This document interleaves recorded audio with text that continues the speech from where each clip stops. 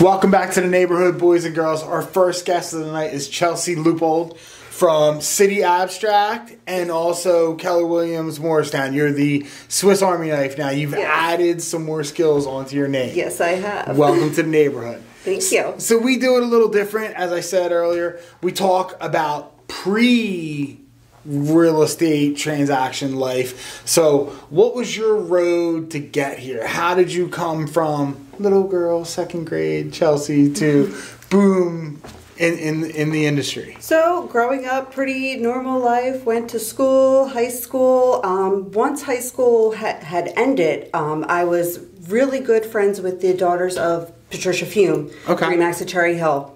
I was going to school at night. I wanted to work full time during the day, and Pat went into her office and said, This girl's a good candidate. Give her a chance just answering the phones. And that's how I got started. Remax at Cherry Hill back in the early 2000s when things were crazy, busy, Yeah.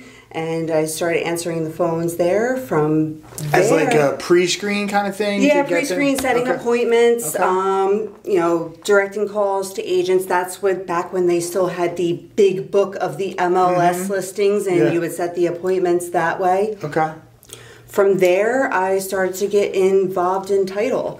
Worked at a few title companies along the way. Got licensed in title. Really enjoyed it. And from there, I was at the um, title company for Lennar Builders. Got uh, licensed in PA to do transactions as well. Got a lot of interesting things going on there. Uh, learned a lot. And from there, I decided uh, that I would like to cha- take a chance at freelancing Okay. just doing closings altogether. Um, I left my job, didn't really have anything else in place yet, but I texted everybody that I knew in the industry and said, Hey, I'm going to try this. Um, if you need help, let me know. Every single person responded back. That's awesome. And um, That's how you know had- you're good. Yeah, I've had I've had a lot of work. Um, City Abstract is my main company. I'm there all the Sure, time. sure. Um, we've all worked at other title companies before, Mm-hmm. so we all just came together there. So it's been a great experience. Uh, we're like a well-oiled machine. Yeah, I will I've- say. We've done quite a few Yes. transactions there with Val Regan. Shout out to Val. She still owes me a trip in here, but uh, she'll be here soon. Um, so you're at the final part of the transaction. You know, the Yes. closing, the closing table.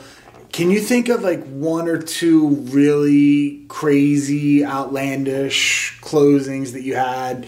Where you're like, oh shit, I can't believe this is going on right now. What was like one of the Yeah. craziest So that have happened? uh, up in North Jersey, go to attorney's Already office. crazy. Already crazy. go to the attorney's office. We sit there with the buyer. Um, you know, he's super excited. We're doing all the documents. We sign everything, get funding approval, and we're just waiting for the seller to come in and sign. Seller comes in. And she says to us, I have some bad news. And we're like, Well, what's that? Like, is something leaking? Is there an issue? She's like, I'm not selling my house to you guys today. and we're all just kind of like, well, you're under contract. And, you know, she kind of had a moment there, um, threw some stuff, and then walked out.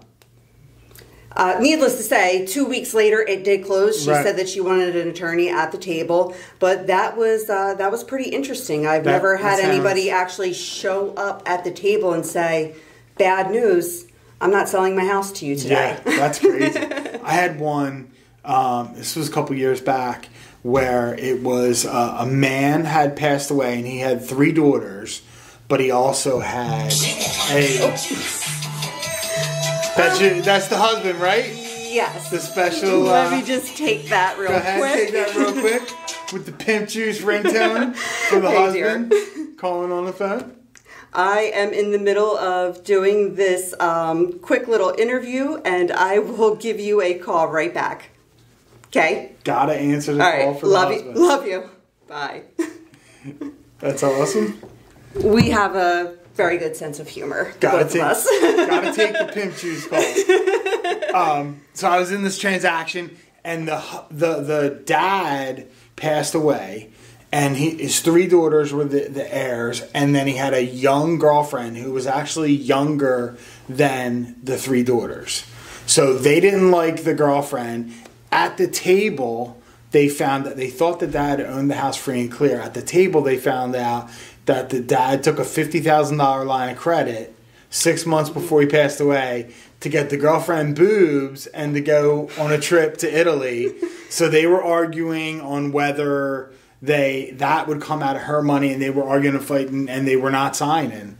And I had to go in and talk to them and be like, hey, well, uh, yeah, you're under contract and you really need to sign and get this done. You can hold the money in escrow and figure out, but you have buyers that literally have the U-Haul, U-Haul running outside. It was crazy. They were arguing, calling names. I was like, man, I wish I had a camera in this. Sometimes they can get very Yeah. interesting and, and heated, but for the most part, all of them go relatively smooth. Sure. Because if they were all crazy like that, nobody would want to be in the business. Now, what about like some some heartwarming moments? You know, like it's not. I wouldn't say it's common, but it's happened often where someone is overwhelmed that they actually get to buy a house. Have you been yeah, involved I've in any been in those like too, and sometimes it, it does pull on my heartstrings, Mm-hmm. and I have to hold the tears back. We've had one a few months ago where they didn't think that they would ever be able to Yeah. buy a house and get out of the place that they were at, and they were so grateful and so thankful.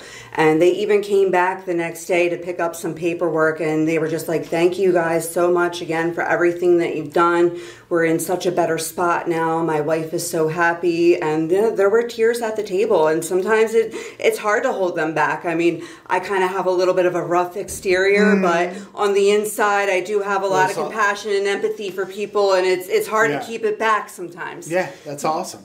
So now we were talking right before. You just recently added your real estate license Yes. to your personal life. What was behind that decision, and how did you go about doing that?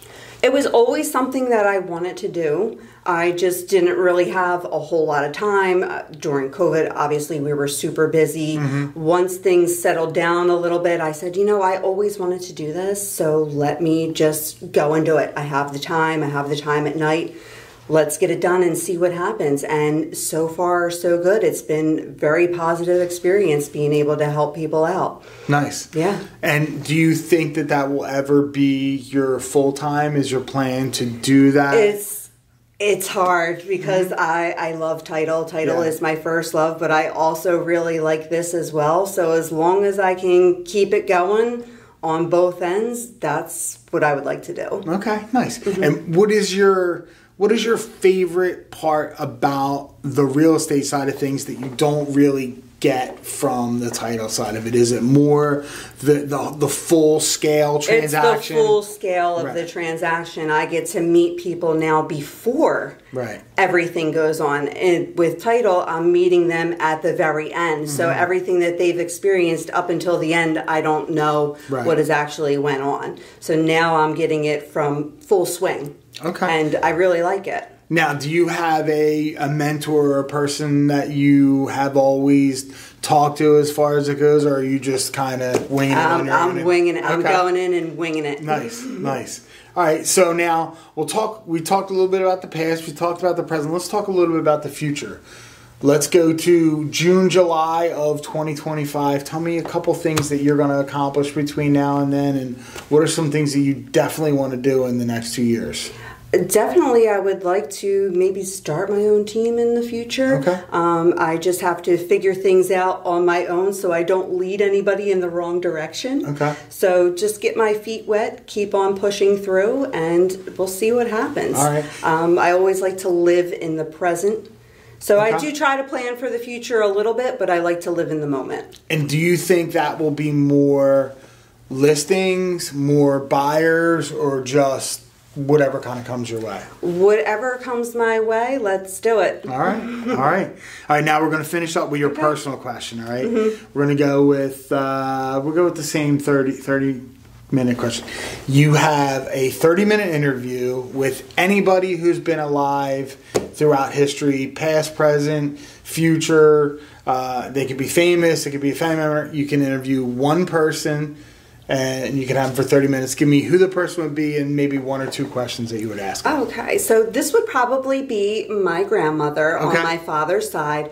She passed away when I was 19 years old. So I didn't get to have that experience of having a grandparent as an adult. Mm-hmm. There would be so many questions that I would ask her now as an adult than when I was a teenager. Okay. Um, definitely, like, how did you do everything that you did? You know, raising children, having a husband, taking care of things like how did you make it all work? Mm. And then my next question would be like, can you write down all of your recipes? Because my mother just can't mimic them the Right. way that you made them. nice. Like, we've asked that question. It's crazy. We've asked that question for, for two years now, and and the first probably eighteen months of asking, it was always a famous person. Yeah. It was always like John Kennedy or Gandhi or one of the other things. And recently, it's been more personal. It's been more, Yeah. you know, my dad passed away or, or grandma, so it's really good to see the different answers and different things. And awesome, Chelsey. Thank you so Uh, much for you're coming welcome. in. Thank you. Thank you for having back. me. No problem. We'll be right back with the next guest on Mr. Mortgage's Neighborhood.